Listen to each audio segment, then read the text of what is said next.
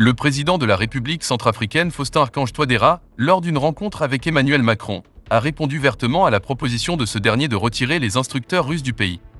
Touadéra a expliqué à son homologue français que ses interactions avec les autorités russes s'inscrivent dans le cadre d'un accord dans les domaines de la défense et de la formation entre les deux pays et le reste ne vous regarde pas.